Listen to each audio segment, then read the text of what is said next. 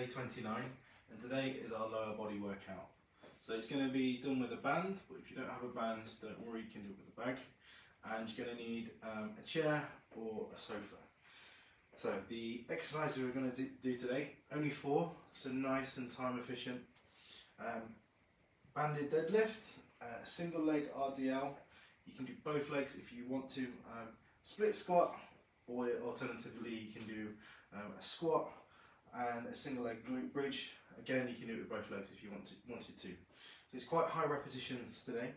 The banded deadlift is three sets, eight repetitions, and everything else is three reps, 15 repetitions. So plenty of work. So, first one, banded deadlift. You lay your band on the floor, step onto it, grab the hoops either side, bring your chest up, make sure your back is flat, and stand up, squeeze the glutes at the top. Just like that. And then straight in to the next exercise, or you can have 10, 20, 30 seconds rest and do the next set of the banded deadlifts. Um, single leg RDL. I'll demonstrate from the side.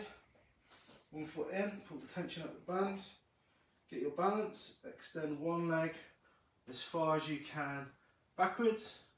Make sure the knee isn't caving in, isn't caving in, and make sure your shoulders are remaining square and not rotating.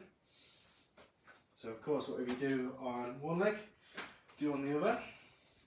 Third exercise is a split squat. so you can either use the chair or the sofa. Place one of your legs onto the sofa, one leg in front of you, and you can go straight down. Make sure you don't bang this knee on the floor. Again, 15 with this leg, swap over, 15 with the other one. The final exercise we're going to do is a single leg glute bridge.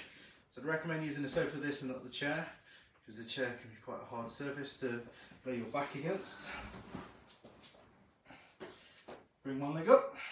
It's going to stay in this position, and then you're going to bring the hips up and squeeze your glute at the top.